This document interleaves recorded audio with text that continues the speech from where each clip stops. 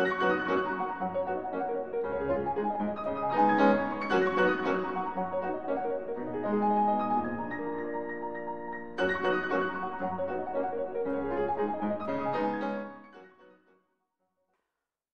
this first session, I am going to give a brief introduction on the Aakash project and Aakash on education. First of all, most of you have been conducting workshops with us, but there are at least about 100 remote centers who have registered afresh and they have directly become Aakash uh, workshop, uh, Aakash project partners with IIT Bombay. They do not have the experience of running these workshops. So, very briefly in about 5 to 7 minutes, I will recapitulate the way in which these distant workshops are conducted.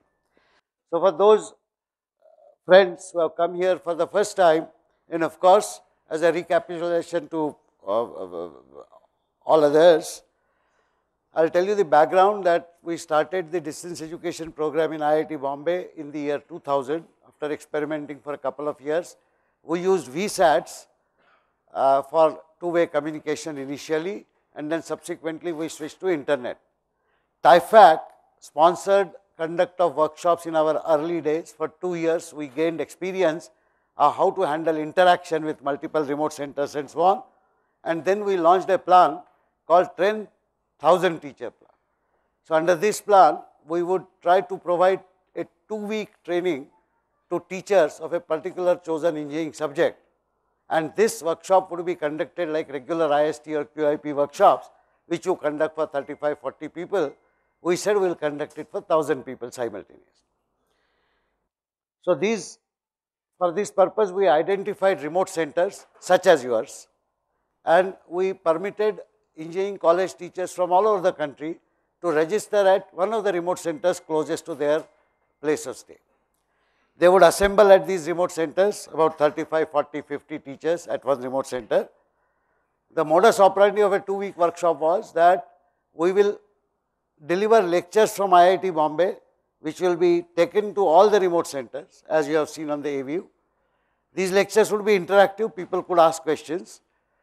But in the afternoon, the teachers who assemble at the remote center would be conducting their laboratories, tutorial sessions, etc., etc., in the local remote center. So, this is a blended mode that we use, a synchronous interaction in the morning. Interaction could be limited, but the delivery of good lectures from the top of the uh, rank faculty members who are available, uh, not necessarily from IIT Bombay, from anywhere else, and the local conduct of the tutorials and the lab sessions, which will permit exhaustive understanding by the group of people there. We did two innovative things in this to ensure that at the remote center the tutorials and labs etc. are conducted properly and in tune with what has been decided. We started conducting a one week orientation program for the coordinators. So, for each workshop we would appoint a coordinator who himself or herself would be a faculty member in that subject and we call all of them here. We try to understand from them what is the syllabus in that particular course, what are the question papers that are asked to the students and then collectively with our faculty, core faculty for the workshop, we will decide what would be the syllabus for this training.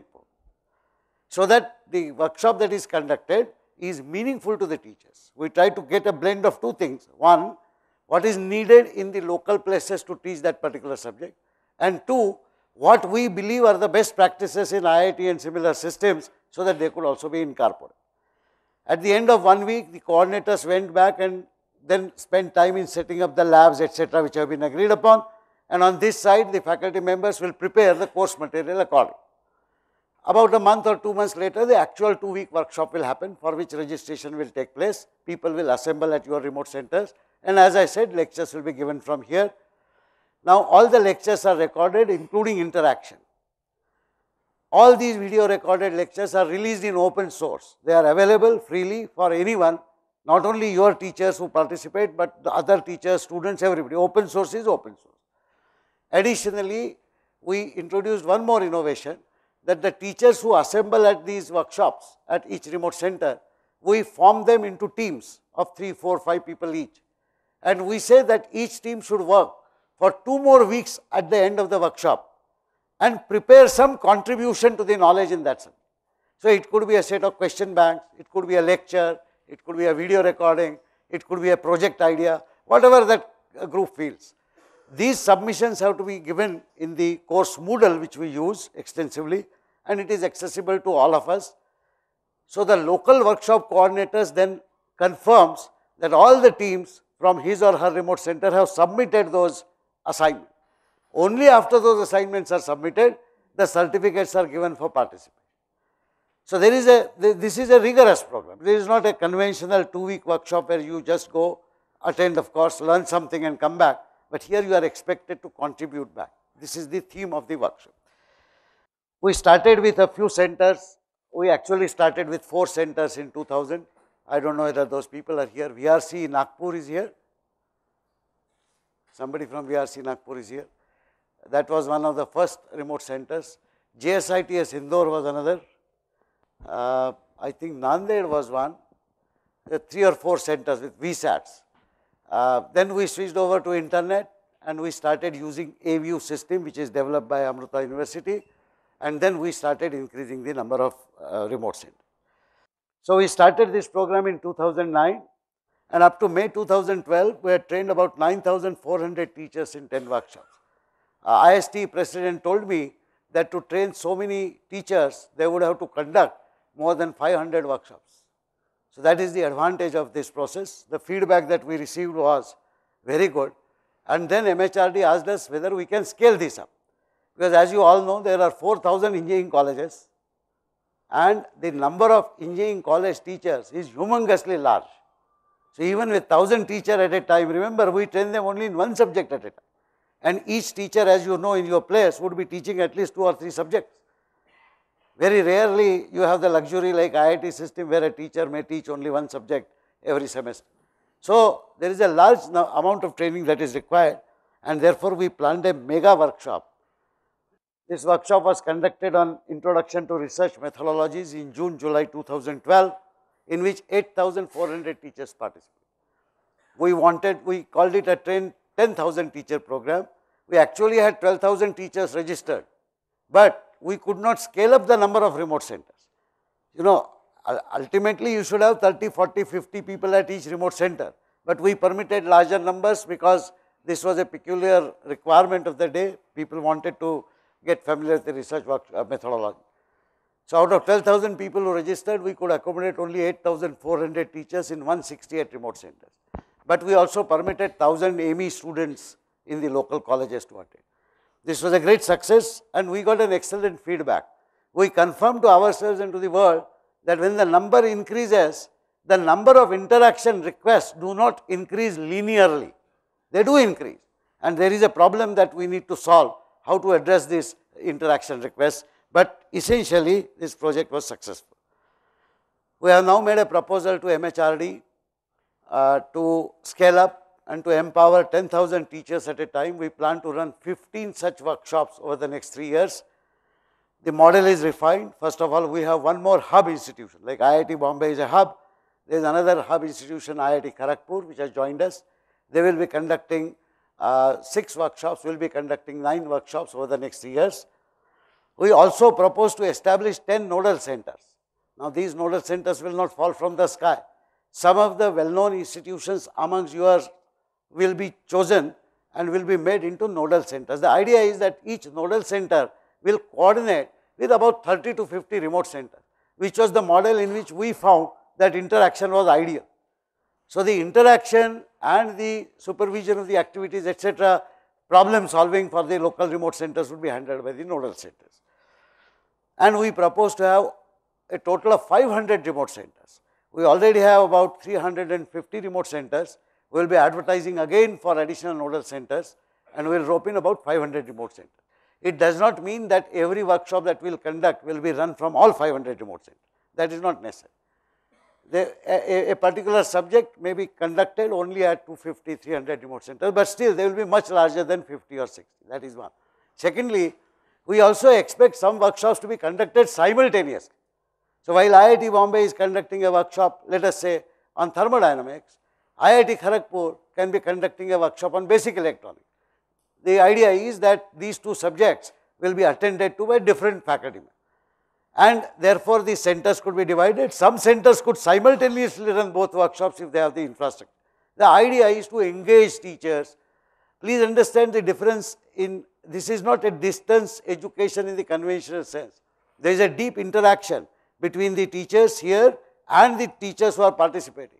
There is extensive interaction between the group of teachers who assemble at the remote center and the remote center coordinator and the paraffin.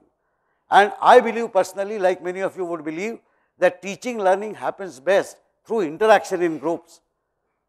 Individual learning is not very easy, although it is facilitated by the technology and that is what we are trying to do. Uh, unfortunately, uh, the final meeting of the project approval board has been postponed, otherwise I would have been able to give you good news that this proposal has been approved. I can do that, the standing committee of the NME ICT has approved this proposal. Tomorrow is the project approval board meeting, my colleague Kannan Moudgalya is going there and hopefully by tomorrow evening we will know if the government has approved this proposal. If this proposal is approved, there is special provision for uh, some equipment and something for each of the remote centers. So far, we have not been giving any grant to the remote center for equipment and so on to remote centers. They, they were doing it on their own. We usually provide a little bit of honorarium for the coordinators and the other associated faculty and technical staff who help us conduct that workshop. And of course, we fund the uh, TADA requirement of the participants if they are outstation candidates and so on. But here we have proposed that we should be able to give at least some notional support to each remote center to set up the best of breed equipment. Because we have seen what happens that many times for example, during the AView testing, we have found that the connections are not proper. The PS system used is something that is used in marriage uh, uh, functions and so on. Uh, it is not it is not a professional PS system. The connections are uh, made in such a way that echo reverberates all across the country. So please remember that if I am interacting with you, whatever we two are talking to each other is heard by everybody else, all other remote center. And if there is an echo and there is funny thing happening, all the funny things are seen by all participants. So you have to be very careful. Camera, some people put a, a webcam there and anytime a teacher has to ask the question, the teacher walks one mile from a corner, comes to that webcam and stands in front of that. Now that is not how a class is conducted. See for example, in this room if somebody gets up and asks a question, all of you can see that person. And I can see all of you and the person. Now that is the model of the group activity that we. So you need good quality cameras. Now obviously not all colleges have been able to uh, create an adequate priority for this activity and provide funding. Some colleges have genuine problem in providing funding for an activity which is not conventionally part of the regular academic requirement. So I have proposed to the government that rather than spending a lot of money in creating just hubs, which government must do, additionally they must support engineering college. There has been a there has been an argument because see even if you take 2 lakh rupees support to each college, now there are 500 colleges I am talking about. So 500 into 2 lakhs is 10 crore rupees. Now, the government does not have a problem with 10 crore rupees, but disbursing 10 crores to 500 colleges which are not government colleges, etc., etc. I have tried to answer those questions. Hopefully, we will have a good news by tomorrow. But this is the plan. And if this succeeds, these 500 colleges, please remember these 500 institutions will be more than 10 percent of all the existing engineering colleges. And I expect each of these engineering colleges to emerge as a hub, eventually conducting courses on your own for neighboring colleges, not necessarily engineering colleges. For example, teachers in accounting, teachers in history, teachers in geography also require training.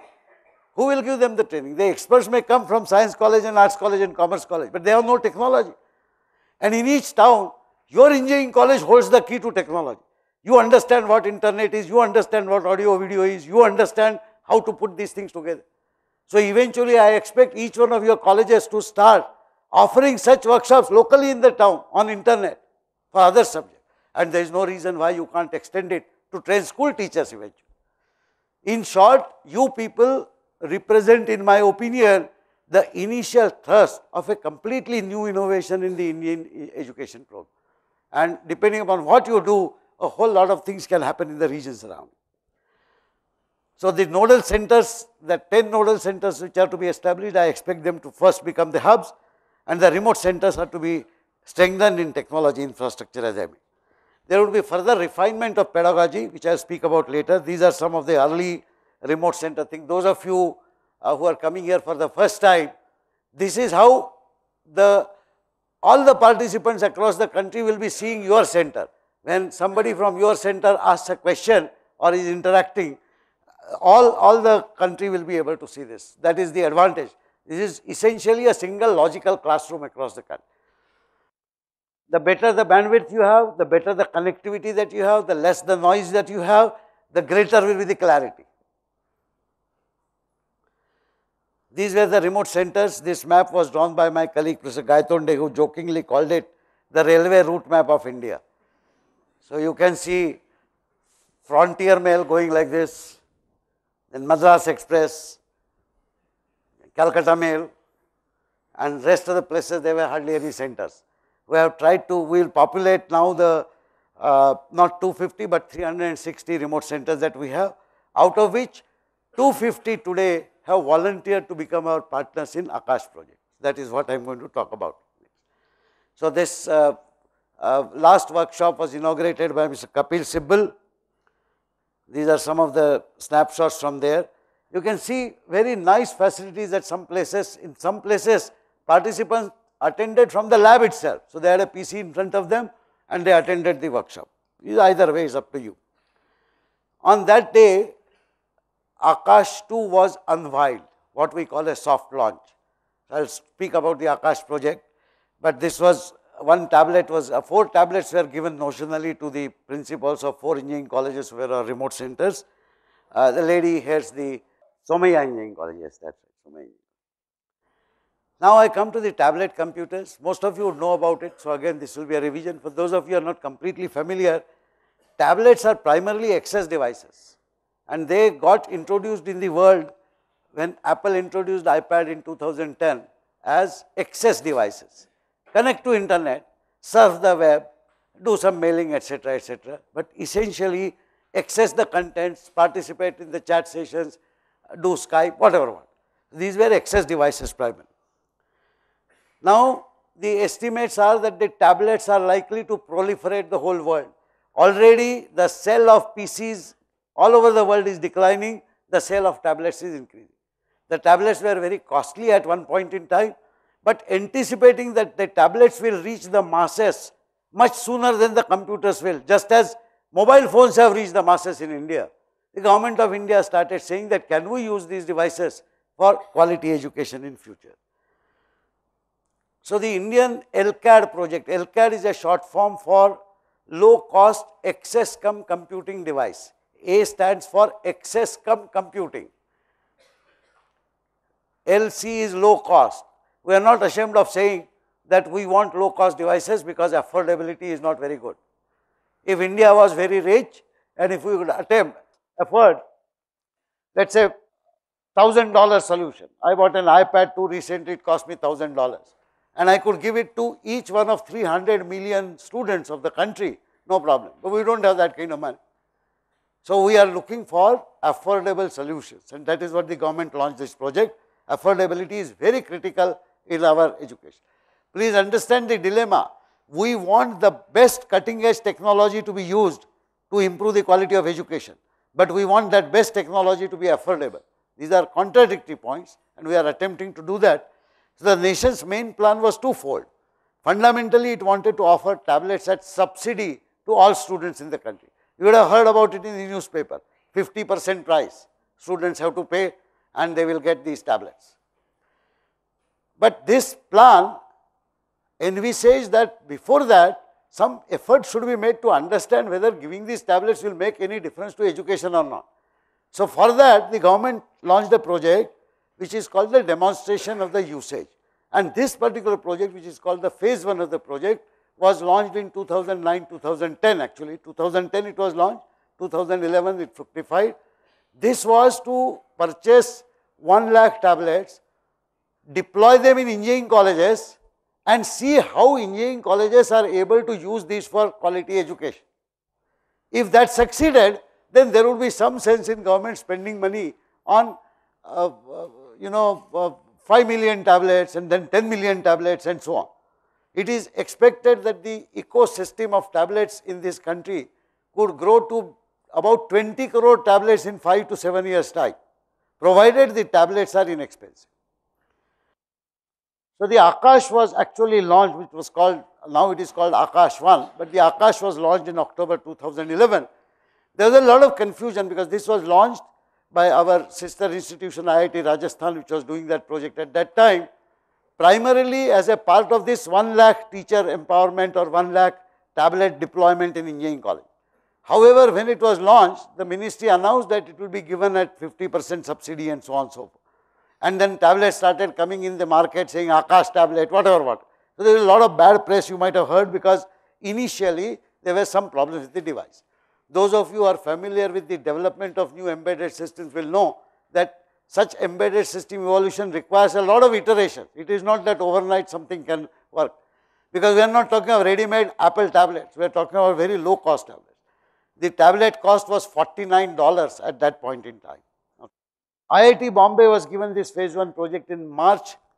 So, there were some problems. Uh, IIT Rajasthan then submitted to the ministry that look we have intractable problems, we cannot carry on for some reason and they returned the project to the ministry.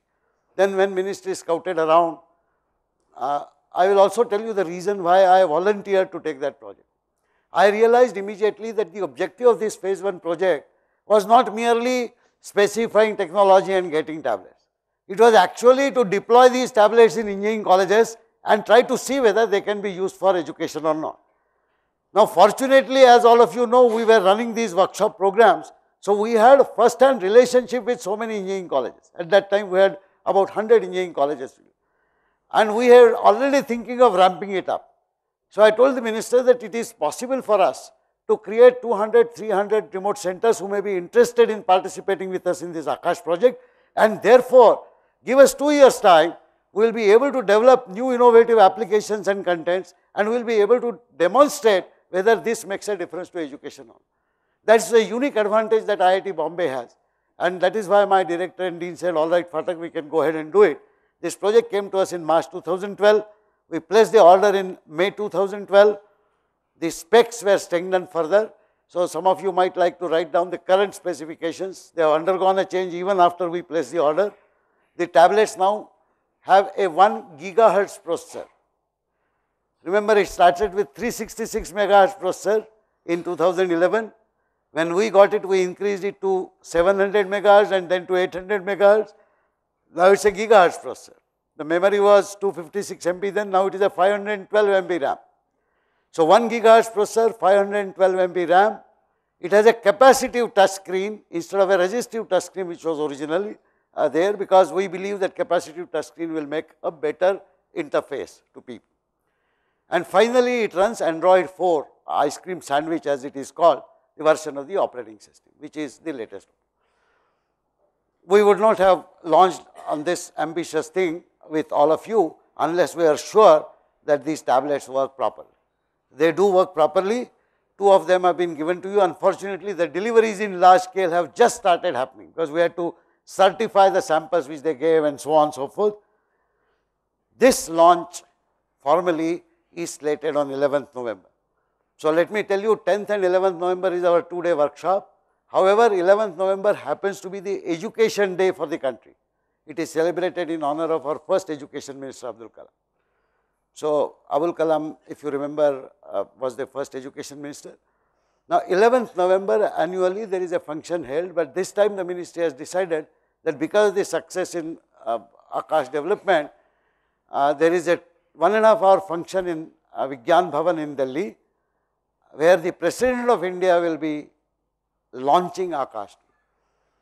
And I naturally said that if the President of India is going to launch Aakash 2, then instead of having only 500 or 1000 people in Vigyan Bhavan attend that function, why don't you permit more than 13,000 teachers participating in the workshop also to attend?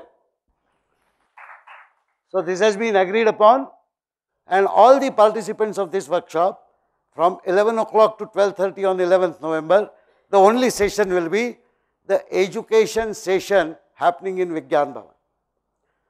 I have further requested the President of India and the other dignitaries to possibly interact with some remote centers so that the country gets a feeling that people at different places in the country are actually watching. So, we have selected some names, I will be interacting with those people separately. Like some of you will remember, we did that during the uh, previous thing. Of course, we will we'll select different centers this time, but we will try to be representative of the country. So, this is, this is I think a great historical occasion when so many teachers will be participating in, in this workshop. So, 250 colleges are our R&D partners, I think 230 only have been able to come. Each college is to use Aakash for classroom teaching and for final year projects. I will elaborate this further. For this purpose, we will be giving about 100 tablets to each college, give and take some depending upon the classroom strength. Please remember that when we conduct those train 10,000 teachers workshops in December and May, June, all the tablets issued to that college must be made available to the participants of the workshop because they will be using that.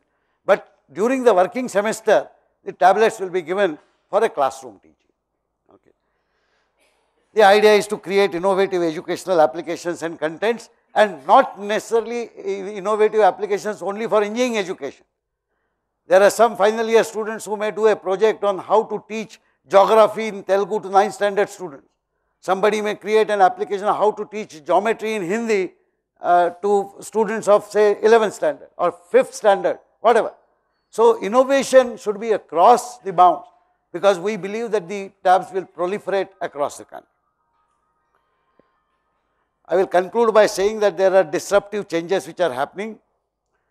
This is something which many of you may not may have realized but not articulated.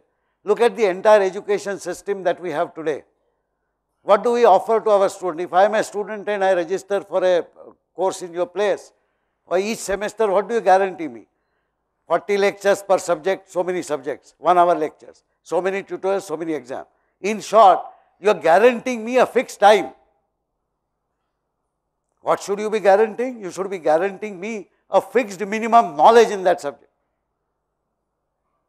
It has not occurred to many of us that when we guarantee a fixed time, we are unable to guarantee a fixed minimum knowledge because the learning capacity of each individual is different. Different people learn at different pace. We just shrug our shoulders and say, sorry, we can't do much. The smarter students will get 80%, 90% marks. The people who are laggards will fail. Somehow for 200 years we have been comfortable with this scenario because nothing else could be done. Given the paucity, one teacher, so many students and the fixed regimented time available, nothing else could be done, there was no technology. But with the advent of this technology, can we not suggest that the laggards could work for 2 hours extra at home, but not in isolation. The technology will help them to give them the material, the guidance, etc., etc. And therefore, for the first time in the history of the world, the nations and societies are in a position to try and guarantee a fixed minimum knowledge to every participating student. There will be differences, some people will learn more etc. But the question of failure should simply not arise, absolutely, because the minimum knowledge can be guaranteed. That is the ambition.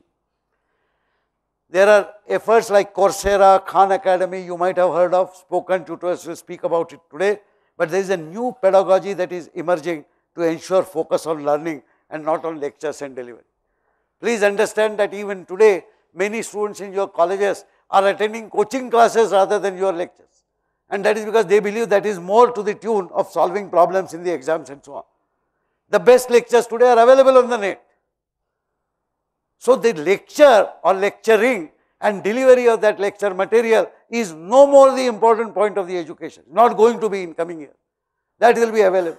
The important point will be prodding the minds, igniting the minds, discussing with them, solving problems. Some of my colleague teachers have already started experiment. They don't teach in the class anymore. They announce that in the next lecture, the question answers will be on this particular topic. Please undergo a one hour presentation which is recorded and available on the Moodle. So people have to listen to that lecture in advance and come only for discussion. Things are changing very drastically. Eventually we'll discuss all those things. But that is where we believe that the Aakash tablets could be maximally utilized. We will unfold how we should become ready. My contention is Are we even trying to be ready? I think all of us are still attempting to strengthen the traditional systems of one hour lecture, tutorial, how to do that better. Of course, we must do that. But additionally, we must do something else, which hopefully technologies such as Aakash tablet will help us establish. So, Aakash project is one such attempt and you all will facilitate creation of a completely new teaching learning paradigm, starting with using Aakash for strengthening the present system, because that is the beginning. You can't demolish a present system unless you create an alternative, then only chaos will result. So, first we try to strengthen our system and then we continue doing something better. So, this is the background. Welcome to this, uh, you, you, you, you people are special now. You are not merely conventional workshop coordinators. You are Aakash project coordinators, that means you will be guiding at every step your colleague teachers and students in your college who are going to work on Aakash tablets. And this association is expected to last at least for two years. That is the expectation.